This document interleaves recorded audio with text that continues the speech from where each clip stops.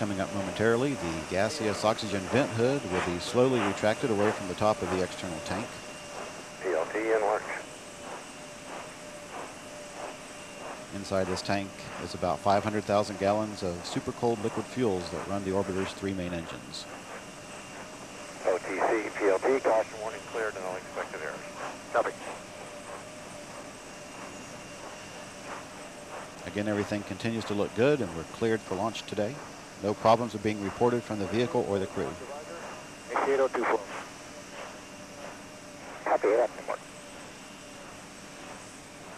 T minus two minutes and counting. GLS is go for ET, LH2 pressurization.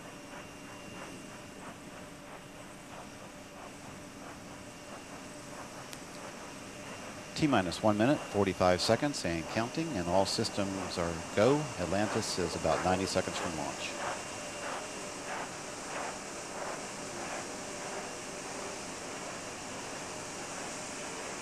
One minute, 30 seconds.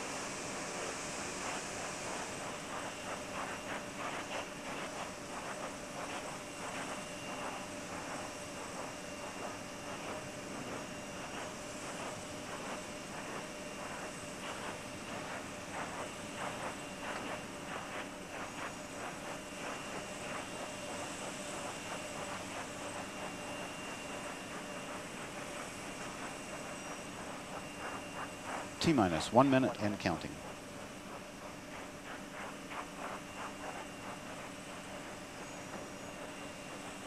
We're transferring to orbiter internal, internal power at this time, and Atlantis is now running off its three onboard fuel cells. Coming up on a go for auto sequence start in about 10 seconds.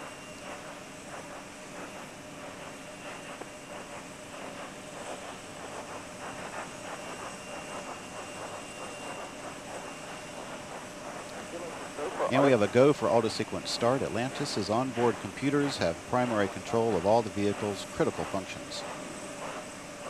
T minus 20 seconds.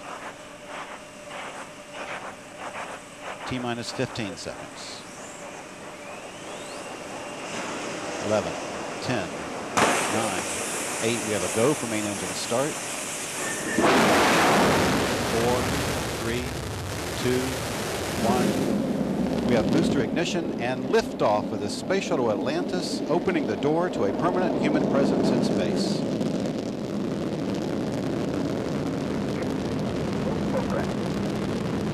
Houston, roger roll.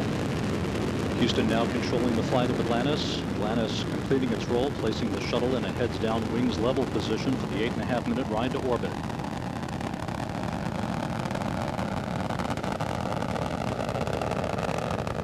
27 seconds into the flight, Atlantis' three liquid fuel main engines now throttling back in a three-step fashion to 72% of rated performance.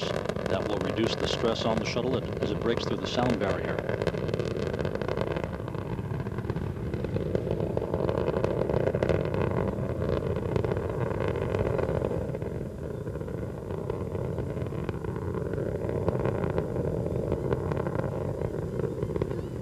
Everything looking very good for Atlantis.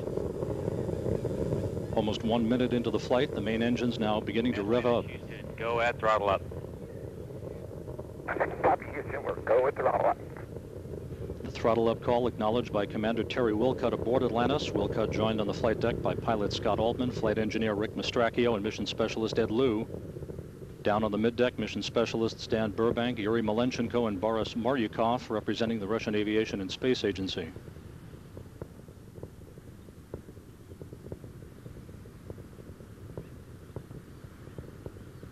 Atlantis already 16 miles in altitude, 13 miles downrange, traveling at a relative inertial speed of 2,200 miles per hour.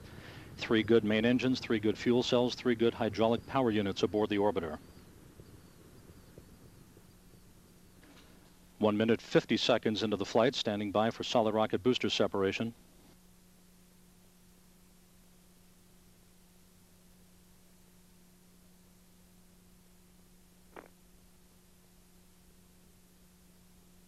SRB separation confirmed.